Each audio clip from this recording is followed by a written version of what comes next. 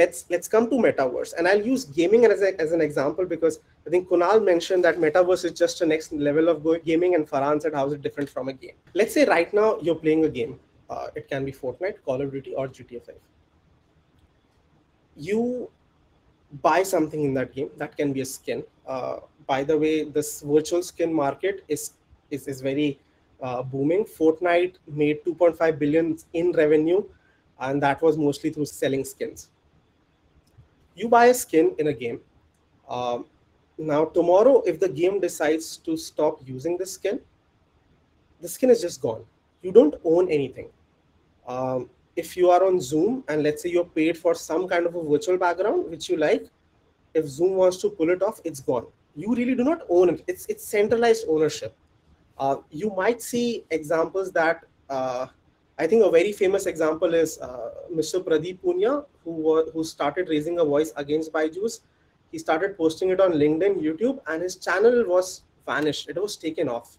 Why? Because uh, Byju's paid money to YouTube to just say, hey, we don't want you to show this content. And you thought you owned the channel, but you don't anymore. Now, how Web3 and Metaverse will be different is using the concepts of NFT you will have ownership of a lot of in virtual world items. This can be a skin, this can be a virtual house, this can be shoes, eyewear, whatever. Gucci, Adidas, Nike, they are already making a lot of virtual merchandise for the metaverse.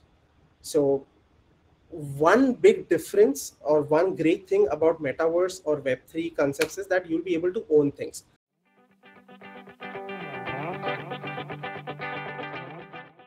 Now, how, uh, let's say you buy a t-shirt from Gucci inside a metaverse, um, that will be minted on a blockchain. That means you are the owner of that t-shirt. Till the time that blockchain exists, it will be recorded that you own that piece of art, merchandise, whatever. So in that way, metaverse, the point, pointer one, why metaverse is not a scam? Because you'll own things and nobody nobody can take it from you. Uh, whereas in a web 2 and a centralized world everything you you don't own things digitally. It's it's just with you till the time a company wants it to be.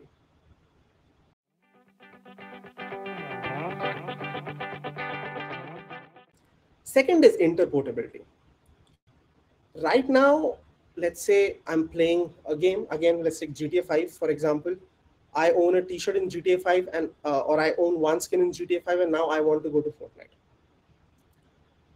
I can go to Fortnite, but I cannot take that skin with me. I lose all my progress, all the items that I've collected, and it just goes away, right? Um, if I'm playing four different games, I have to buy items in those four different uh, games altogether. And that's that's just not great. Let's say in a real world scenario, if I own a car, so I'm situated of Bhilai, Chhattisgarh, I can own that car in Bhilai. I can take that car to Delhi and Bombay. So metaverse is supposed to be the same way. So the ideal property of a metaverse or the metaverse concept is interportability. That's the second. First we uh, uh, spoke about ownership. The second is interportability.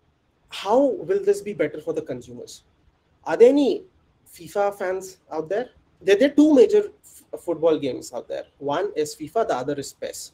And in both, you can create your uh, teams I'm forgetting the name of of that uh, uh, mode. I think it's okay. I'm forgetting it. Let's say if I play games in both the places, I need to buy the place separately in both the places. Um, that that's not fair for me as a user. I would want to buy, let's say, Cristiano Ronaldo or Messi in FIFA and use him in PES as well. I want to buy it from a centralized place and use it in all the games. Similarly, let's say if I buy let's say this shirt, this denim shirt, um, in a decentralized metaverse, I would want to take it to Sandbox, or I would want to take it to a Roblox, or the metaverse which Facebook is creating, or all the 153 metaverses out there. There are 153 metaverses, as uh, someone said on LinkedIn, and they've counted it. Now, uh, ideal state, you buy something, and that is interportable from one metaverse to the other. And again, metaverse is a virtual land where you can play, socialize, and learn. So that is the second property, and that's how it's different. Um, in a centralized world, that does not happen. Everyone makes you do in-app purchases, which is not just not good for end consumers. It's just good for the companies.